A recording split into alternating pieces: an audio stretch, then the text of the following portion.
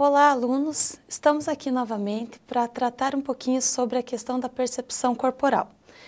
É, até então, na disciplina de Fundamentos é, do Ensino da Arte 1, a gente tinha trabalhado apenas com os elementos formais do teatro da dança.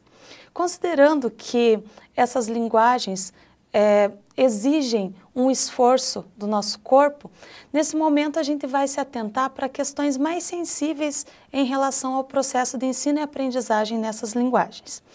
Então, tanto nas artes cênicas, né, que também inclui a dança, a percepção corporal é indispensável, principalmente se remetendo à arte contemporânea, né, onde o indivíduo faz parte do processo de construção da obra.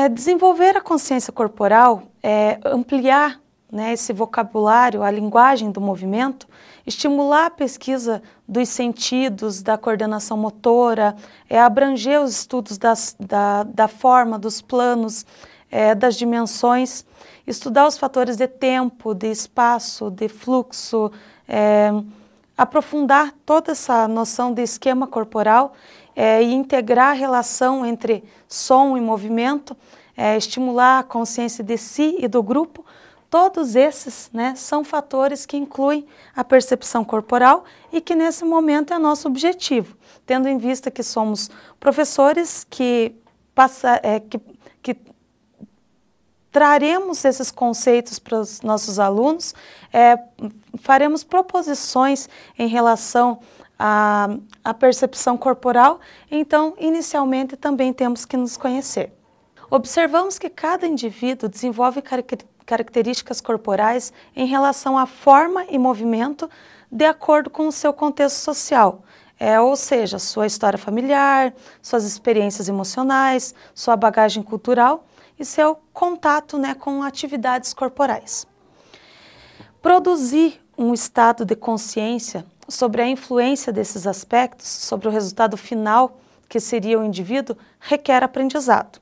Então, seria como aprender um novo alfabeto, um alfabeto do movimento e as suas correlações né, com forma, formas espaciais, é, formatos de estruturas psíquicas é, relacionados com a, a, com a construção dessas estruturas corporais.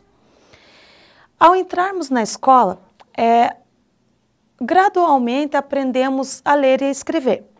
Posteriormente, vamos escrevendo eh, textos, pequenos textos, e ao longo né, de um processo educacional, chegamos até a inovação de novas ideias através de teses e é, até chegar num doutorado, enfim, novas ideias. É, isso não acontece de uma hora para outra, né? Isso leva anos. E da mesma forma acontece com o nosso corpo. Ao entrarmos numa escola, né, que seria a nossa escola da vida, é, onde desde a concepção recebemos influências é, de pulsações sanguíneas, de vibrações emocionais, de vibrações sonoras é, e de tantas outras, é, posteriormente nascemos e entramos em contato com o meio ambiente e todas as suas influências, né? o contexto econômico, a estrutura afetiva é, familiar, a estrutura cultural e diversas influências ao longo da vida. E assim forma-se o indivíduo. Ao falarmos da palavra corpo, percebemos que não falamos só de um corpo físico, mas também de um corpo com forma, com movimentos físicos moldados dentro de uma estrutura social. Corpos são histórias vivas, né, que são escritas e reescritas a cada instante. Então não existe um padrão, né, pois não existe uma vida é, idêntica a outra. Então, um corpo brasileiro é diferente de um corpo germânico, que por sua vez é diferente de um corpo oriental, é um corpo que vive é, em uma condição de fartura, é, conta uma história que é diferente de um corpo que vive em uma situação é, de miséria. Um corpo que recebe amor conta uma história, um corpo que não recebeu afeto conta outra história.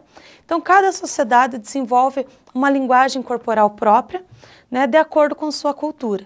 E cada ser humano, dentro dessa cultura, desenvolve a sua linguagem corporal de acordo com as suas atividades, né? sejam profissionais, sejam de lazer, enfim. É, um outro exemplo, um homem do campo né, tem determinadas é, determinantes físicos né, em seu, seu movimento corporal que são próprios, diferentemente de um atleta que terá outras características, né? ou um trabalhador de escritório e assim por diante. Bom, e aí, né, o que fazemos? Então, primeiramente, procuramos entender a grandeza dessa diversidade do universo de formas e movimentos para posteriormente aceitar essa diversidade. Então, não haveria como impor padrões de perfeição, porque seria é, o mesmo que empobrecer né, a riqueza dessas diversidades é, de experiências corporais. Então, ao, ao, ampliarmos esse nosso vocabulário de movimentos, aumentamos também nossas possibilidades de comunicação. Então, em decorrência dessa, abrimos uma porta né, para a qualidade de vida, para a consciência né, desse corpo, que é espécie de um instrumento, então, de comunicação, de vínculo né, com o mundo. Então, ou seja, um corpo humano integrado a, a essas condições. Pensando né, nas nossas linguagens artísticas, é, na dança, principalmente na dança contemporânea, essas condições de autoconhecimento e de práticas corporais constantes são indispensáveis. Da mesma forma, é, para o teatro, né, para as artes cênicas, é, para as diversas linguagens artísticas que envolvem o corpo.